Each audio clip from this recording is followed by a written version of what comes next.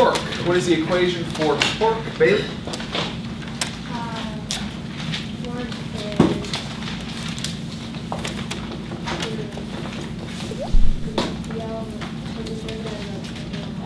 Ah, the net torque.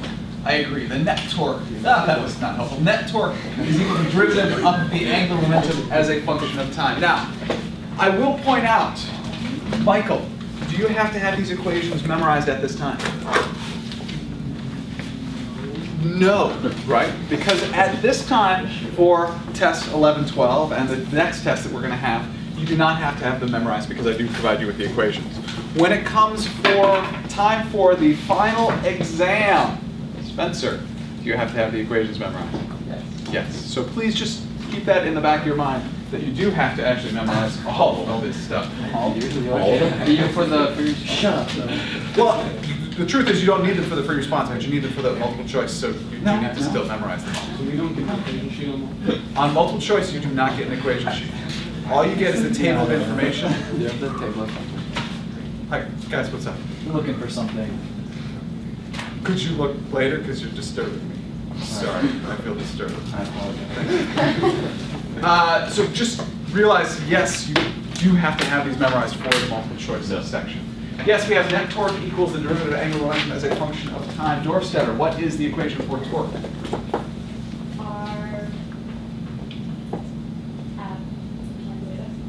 RF sine theta is one, I agree. What is another equation for torque, Zach? R cross F. Please do not forget that you do need to be able to remember how to do vector, the vector products in the I, J, K with the matrices, etc. When you sum the torques, what do you have to identify? Vlad?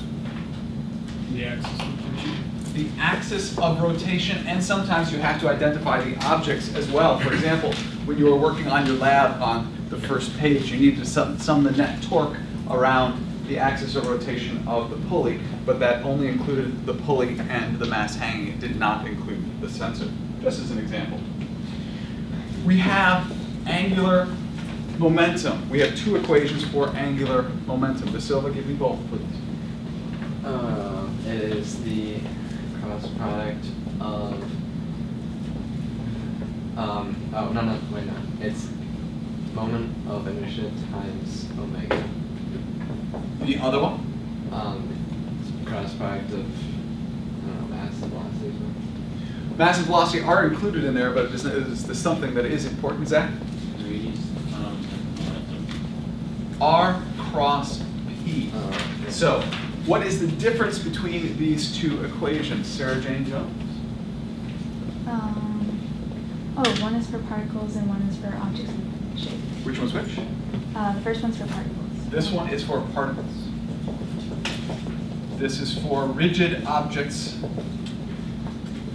with shape. Uh, let's see.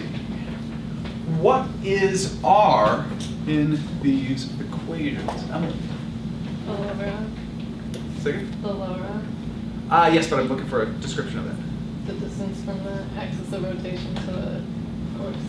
Uh, well, for the torque, it would be to the force. For the angular momentum, it would be to the velocity, the center of mass of the object. Great. Uh, okay. When is angular momentum conserved, Mr. Patel? when the stuff's in equilibrium. Stuff. It's not very helpful. I don't know exactly what, but it's in equilibrium for that. Equilibrium, right? Close. John.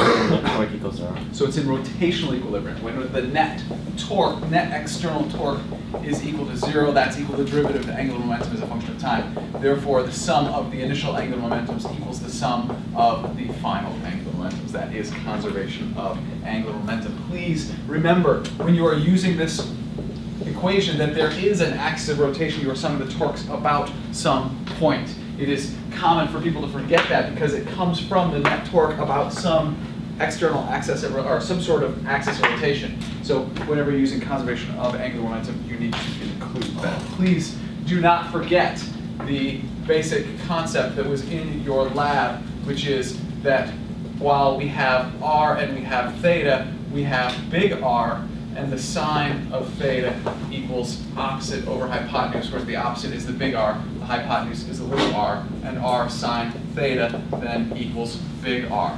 The idea that while the distance between the axis of rotation and the center of mass of the object and the angle, both of those might be changing, the radius is not, and therefore r times the sine of theta is not changing as this object moves up or down, something that comes up quite often. That finishes chapter 11. Chapter 12. Chapter 12 had to do with equilibrium. We had translational and rotational equilibrium. Meg, give me the equations for translational and rotational. Uh, Transitional with the, I uh, the net force. The net force is equal to zero. Rotational equilibrium, uh, Eugen?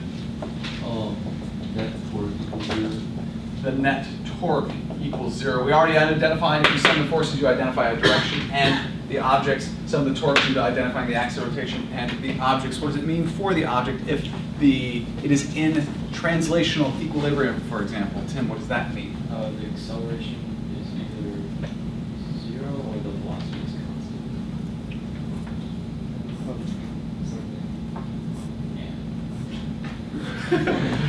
constant. The acceleration is equal to zero, which means the velocity is constant or it's at rest. What does it mean as far as rotational equilibrium then? Loki? Um, it's either rotating or it's not moving at all, or it's rotating at a constant angular velocity. because the, you have an angular acceleration equal to zero. Please remember to draw your free body diagrams anytime you are using something like this.